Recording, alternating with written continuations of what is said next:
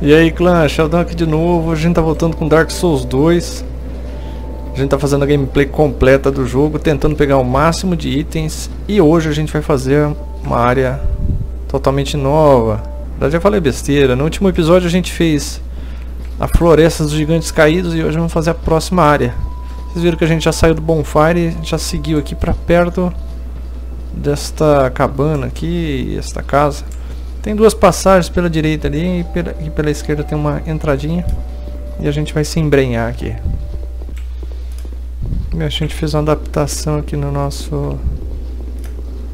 Nas nossas armas, né? Trocamos o escudo, um escudo que bloqueia 100% do dano. E vamos descendo aí. É comprido, é comprido porque a próxima área é muito bonita. É muito enorme. Ó, tem um, baú aqui com permissão Parma, não sei o que faz essas coisas. A gente chega aqui numa área, parece esgoto. É, vamos tentar fazer o mais rápido possível.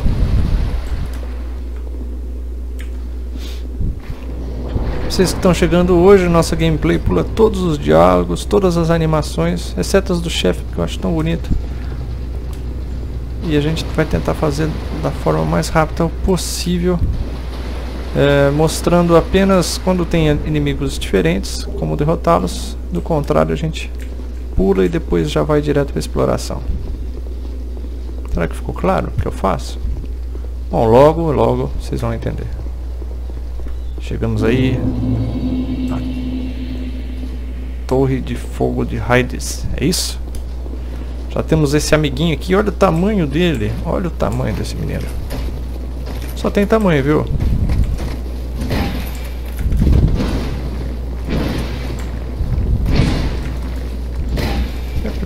Ficar atrás deles. Tá vendo? Facílimo, facílimo. Logo aqui à direita já tem um bonfire. Acenda-o, mas não sente, senão os inimigos voltam a aparecer. Tem mais um aqui na frente. A área é bem bonita, olha só. Tem uma catedral ali enorme. Ali tem, sei lá, a torre de fogo, né? Esse bicho é lerdo, hein?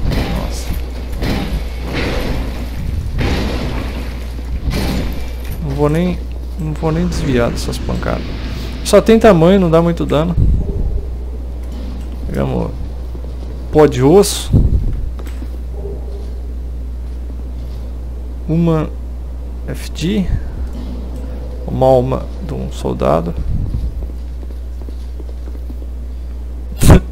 o cara já olha pra gente no receio. Nossa.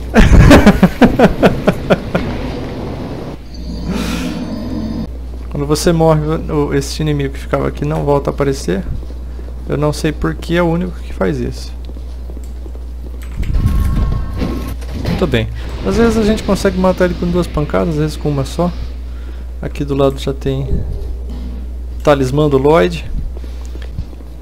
Ali à frente nós temos um chefe, eu vou dar um zoomzinho ali, pra vocês verem. E ele fica em cima de uma plataforma em volta da plataforma. Só quedas. Pra não acontecer isso, não acontecer de você cair, ele pode cair também, você pode matar o chefe no instante, num erro dele.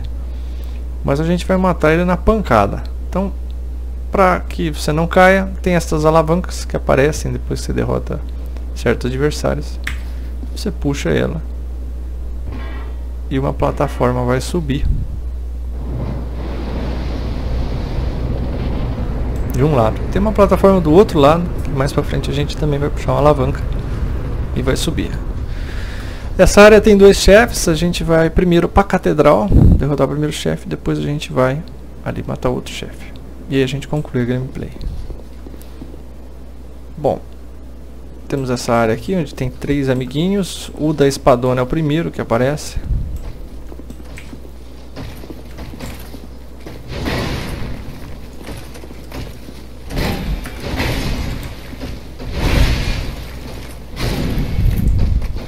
Ele é tranquilo de matar. Os outros é só isolar e derrotá-los. Uma vez derrotados os inimigos nessa área, vai subir também uma pilastra aqui com uma alavanca. E ela vai fazer com que suba outra plataforma ali dentro. Aqui nesta área a gente vai optar para a esquerda primeiro. Tem mais dois menininhos desse. Depois que derrota os menininhos, tem uma escadaria no cantinho. Com uma benção divina. Aqui eu acho que não tem mais nada, viu? Só seguindo aqui pela escada. Ali tem uma área que parece que você pode ir, mas na verdade não pode. Vamos indo que tem mais um cavaleiro ali para ser derrotado nesta plataforma. Uma vez derrotado o cavaleiro, outra pilastra com alavanca. Puxou. As portas da catedral vão abaixar. É tudo tão enorme, né? Tudo tão, tão absurdo nesse jogo. Chegamos à Catedral Azul. Vamos pegar aqui mais, mais uma gema. E aqui dentro desse baú tem um item muito bom. Mais uma efígie e o anel. Um anel essencial aí pra gente que não fica usando os FDs. Eu falo de uma forma muito estranha esse nome desse item. Vamos trocar aqui o anel de espinhos pelo por esse anel que a gente teve agora. O que, que ele faz? Quando a gente está no formato de hollow, a gente perde um pouco de vida. E agora a gente não perde mais. A gente também usa um anel que fica recuperando HP aos pouquinhos. Tá vendo? HP vagarosamente vai subindo. Concluída a área, a gente vai entrar aqui na névoa e a gente já vai enfrentar o primeiro chefe da área. Vocês podem ver ali, a gente já tomou um desacerto. Se recuperar. Para quem jogou Dark Souls 1 ou viu nossa gameplay, vocês vão reconhecer esse menino. Lembra o Ornstein, muito. Só que sem ser dourado.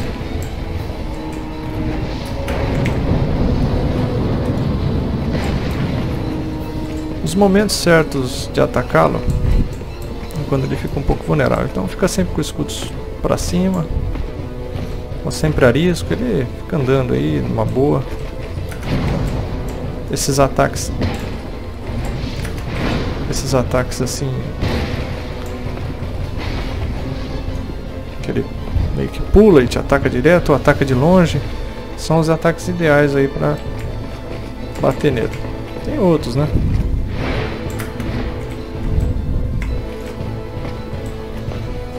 Vamos indo, com calma você derrota ele. Ele tem dois ataques também mágicos, que é aquele que ele...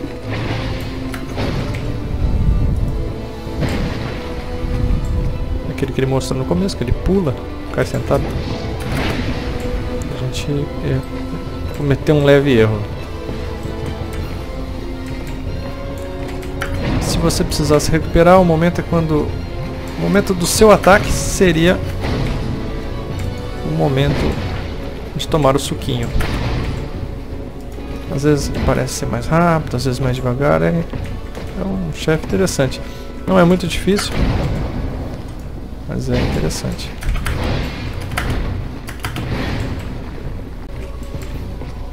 Vamos tentar sobreviver a ele. Ele tem esse ataque, especi especificamente esse ataque é indefensável. Não tem como.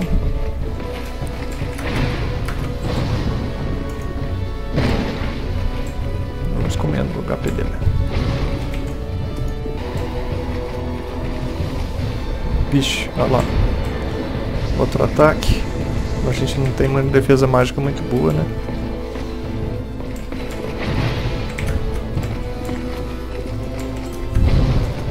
Beleza. Por algum motivo, um dos danos não pegou. Ah, Aí, derrotamos. Com algum custo nós derrotamos. Ganhamos um anel, uma almona dele e mais 26 mil almas. Ao final, aqui no final a gente encontra esse cavaleiro. Transient being. This is no place for begone. Ele não quer conversa com a gente, mas eu acho que porque nós estamos no modo hollow. Vamos abrir os baús.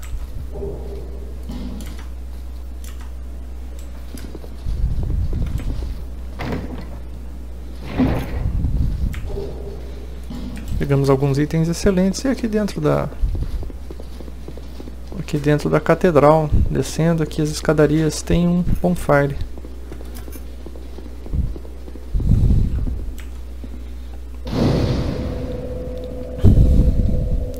O que a gente vai fazer agora? A gente vai voltar lá para o primeiro bonfire, mas antes eu vou dar uma passada em Majula, usar nossas almas.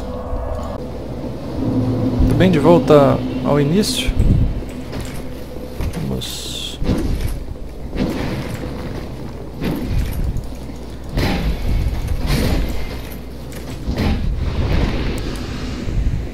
Vamos voltar para aquela estrutura ali. E de lá vamos para a direita. Eu vou simplesmente ignorar esses cavaleiros e vou para a direita. Deixa eles, deixa eles. À direita tem algumas coisas. Essa escada. E aí nós temos outro menino usando a espada longa. Muito bem, resolvida a nossa situação com eles. Antes de entrar aqui, no próximo chefe tem um baú aqui. Se tem necessidade de pular.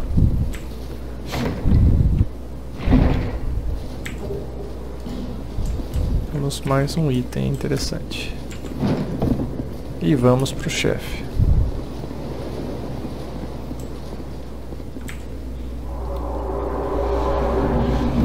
Apesar de um se assemelhar com Ornstein, esse não se assemelha com o Smaug nenhum. O HP dele é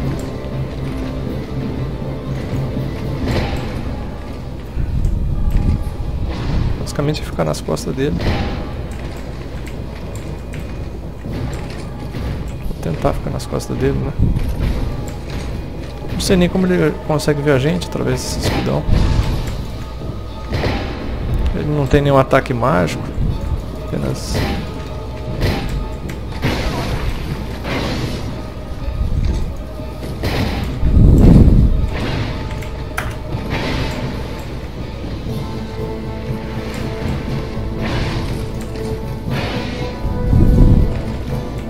nossa atual barrinha verde aí não pode nos fazer nenhum mal. Bem tranquilo, né? Perto do outro, bem tranquilo. São só esses ataques aí lanças. O número de almas também não é muito grande. Feito.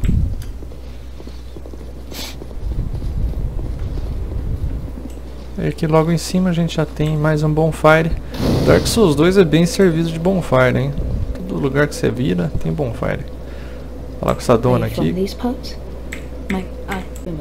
Tô conversando com ela, depois ela ela some daí, não sei pra onde ela vai. A hora que ela ri é porque acabou. Ainda tem mais um pedacinho esse mapa. Vamos descendo aqui essas escadarias. Mas o pior já passou. Amuleto do monastério. Vamos indo. Aqui vai ter mais alguns cavaleiros gigantes. Passando esses dois, vai ter aqui mais uma FD, mais um monte de item. Um monte de item. Alma, soldado orgulhoso. Um Halbert.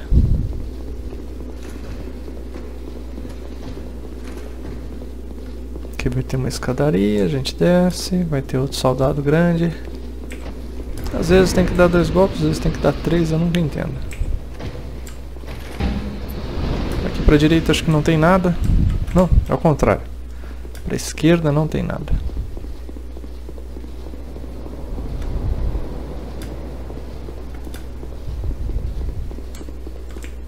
Nada mesmo.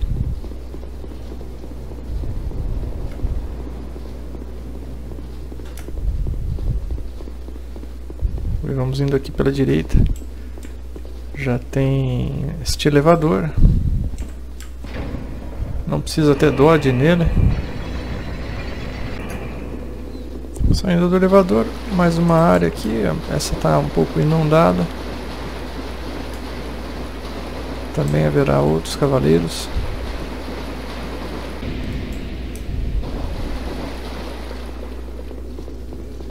Subimos as escadas. Eu não sei se vai ter outro cavaleiro aqui, acho que não. À direita o que a gente tem é um baú? Um baú.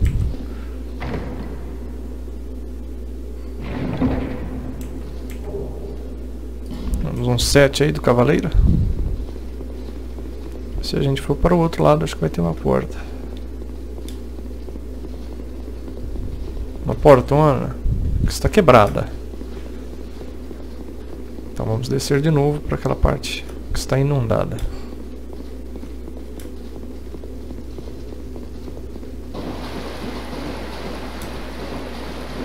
Vamos por aqui. Será que tem mais um cavaleiro? Não. Acabaram-se os cavaleiros. Aqui não tem nada.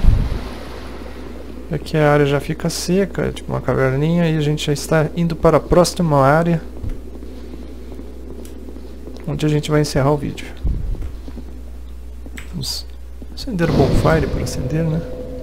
Conversar com esta criatura. Me trocar uma ideia com a dona. E só para vocês verem o nome da próxima área, a gente vai aqui. Se eu não me engano é a área do navio. Fui pro lado errado.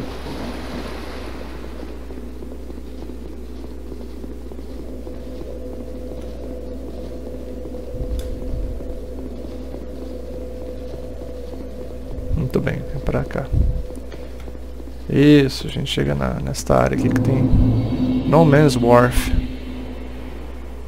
Mas isso aqui vai ficar pro... Opa, tá, tão atirando a gente. Vamos ficar para outro vídeo. É, tá aí, a gente fez a área completa. A torre de fogo aí. Como é que chama certinho? Hyde's Tower of Flame e também a Catedral Azul. Que é curtinha, né? É só uma catedral mesmo. É isso aí, pessoal. Tá aí mais duas áreas feitas, né?